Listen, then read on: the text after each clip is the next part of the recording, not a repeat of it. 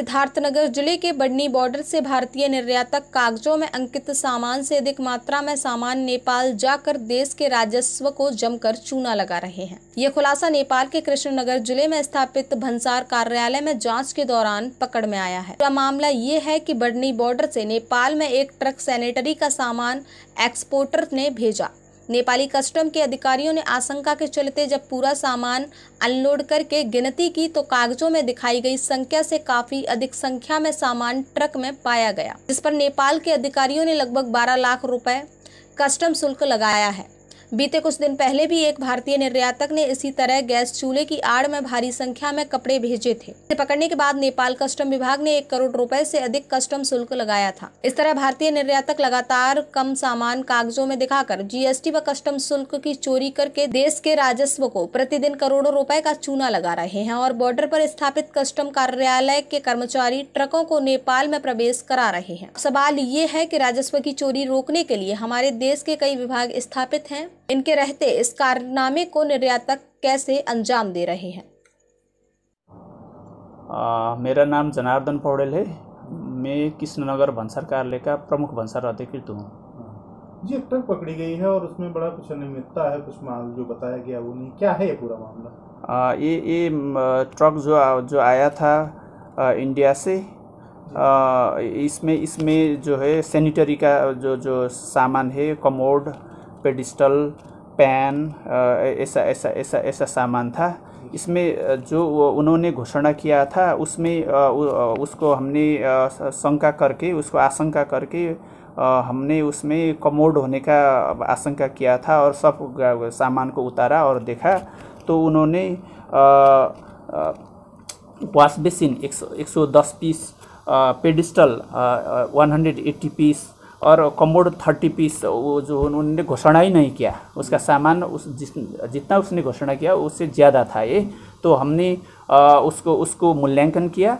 मूल्यांकन करने के बाद जो हमारे भंसार आयन है आ, उस उसके अनुसार हमने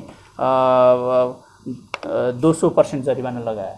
दो दो सौ परसेंट जरिमाना लगाया और उसको हमने भंसार जो शुल्क है वो ड्यूटी है उसको एसेस किया।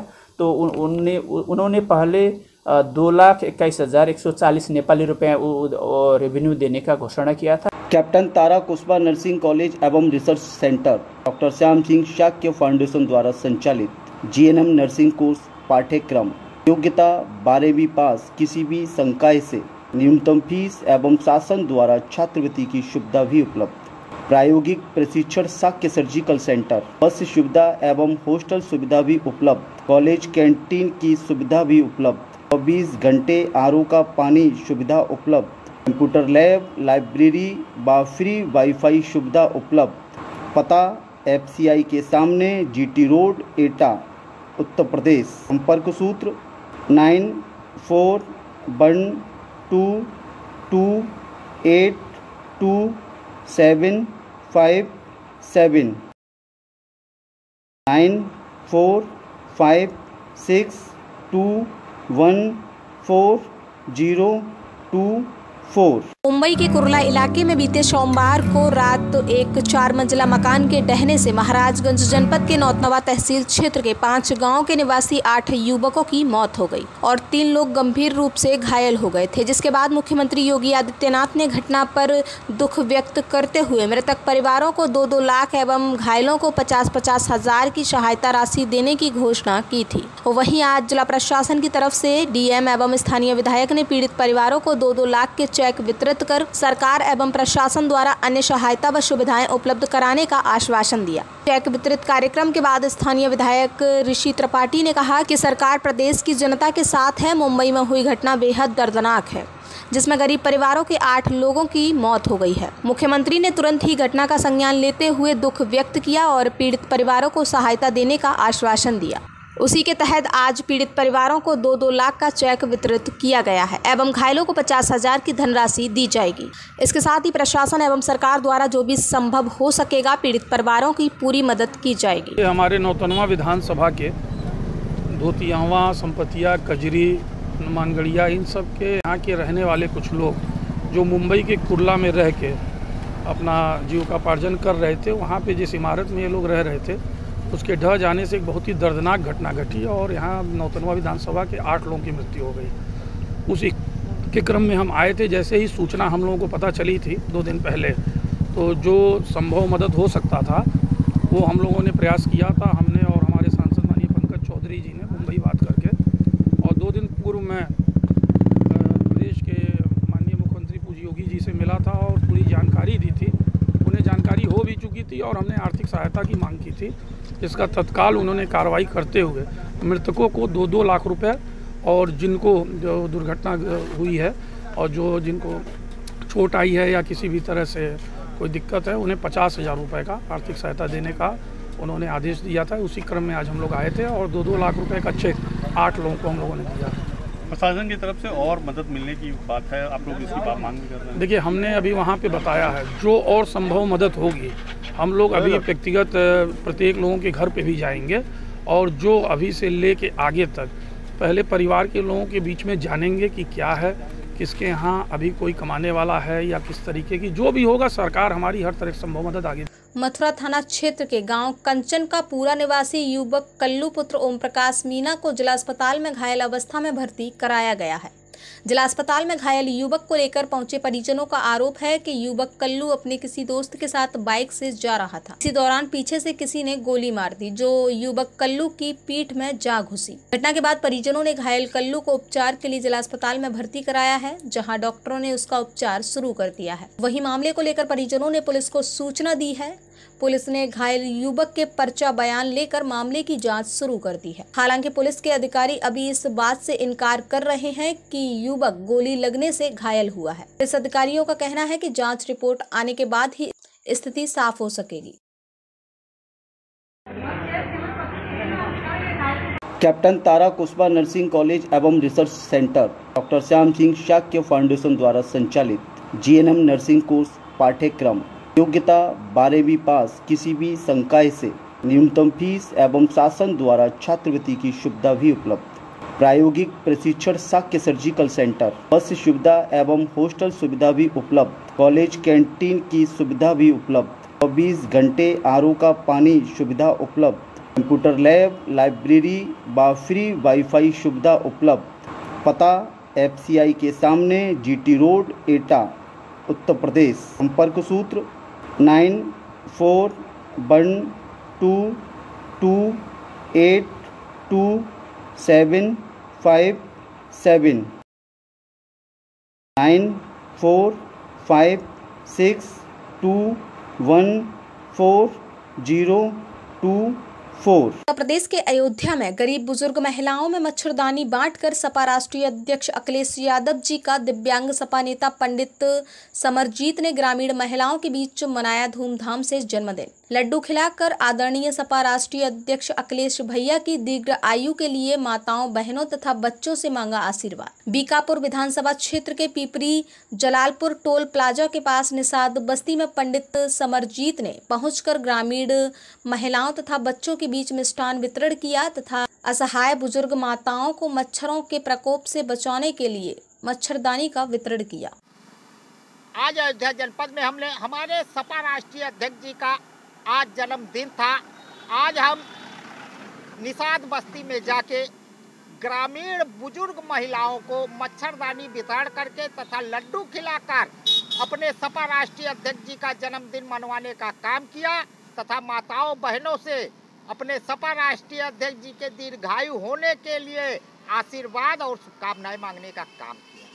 दिव्यांग सपा नेता पंडित समरजीत अयोध्या बरेली में तैनात होम गार्डो ने डीएम से शिकायत की है कि पुलिस अधीक्षक यातायात उनको ड्यूटी पर नहीं लगा रहे हैं। उनका कहना है कि जो होम गार्ड पाँच से दस वर्ष तक ट्रैफ़िक में ड्यूटी कर चुके हैं, उनको ट्रैफ़िक में नहीं लिया जाएगा।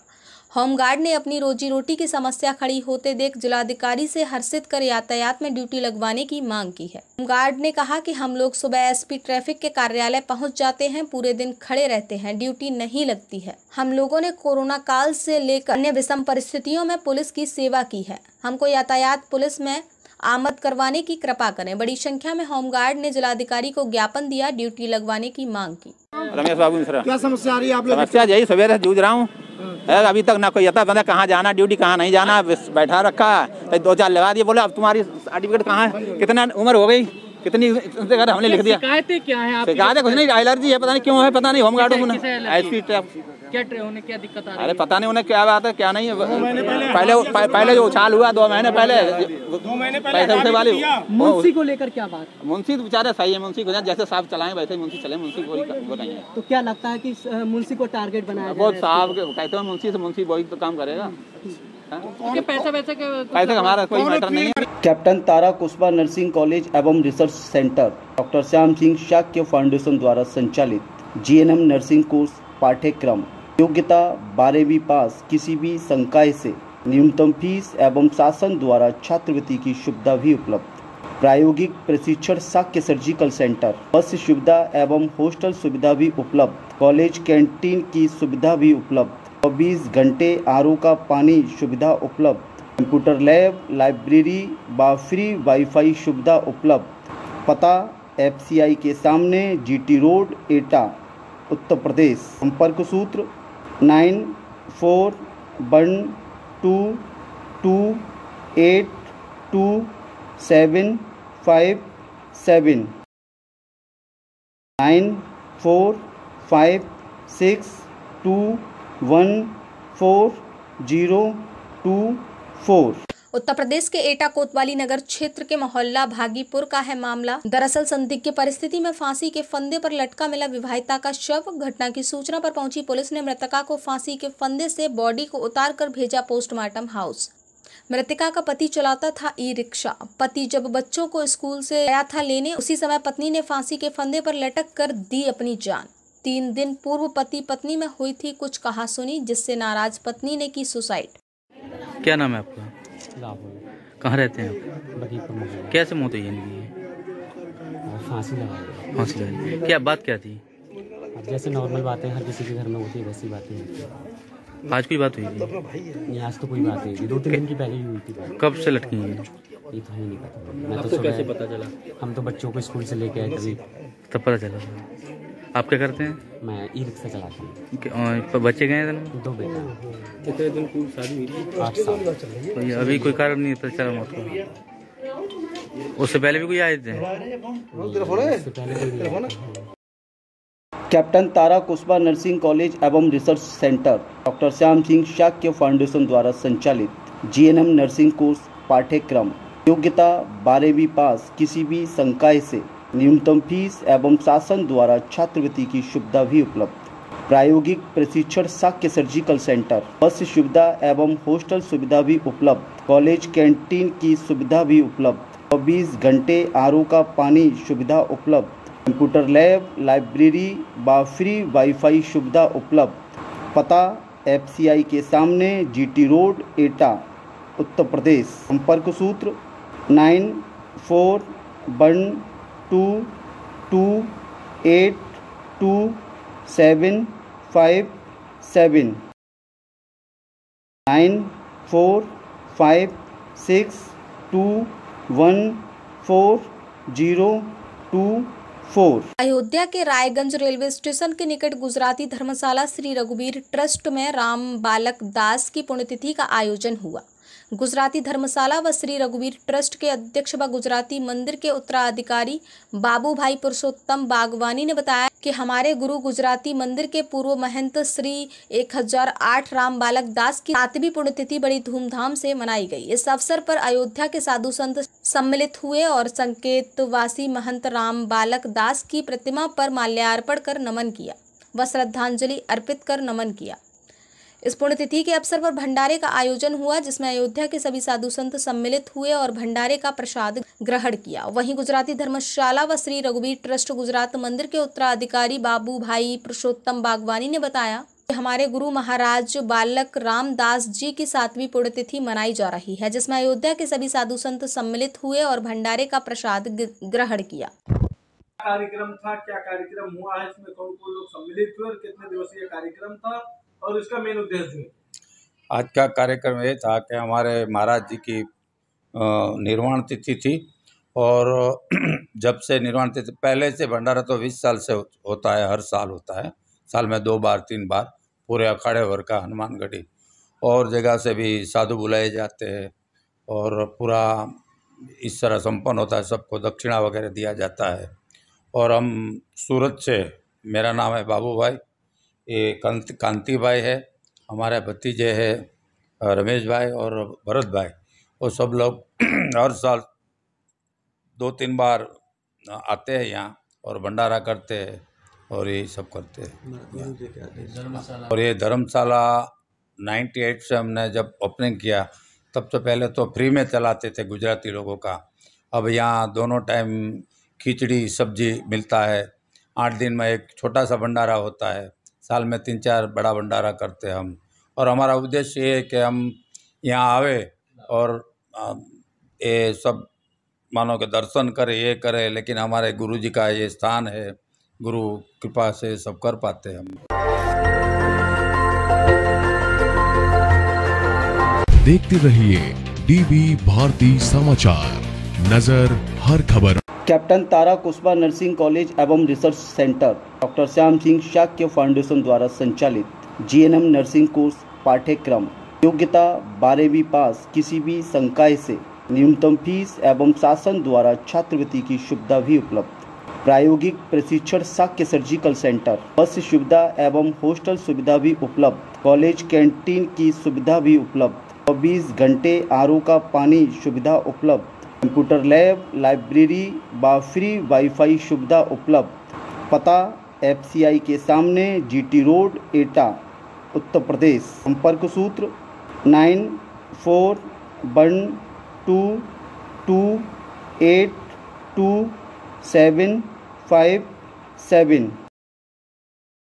Nine four five six two one four zero two four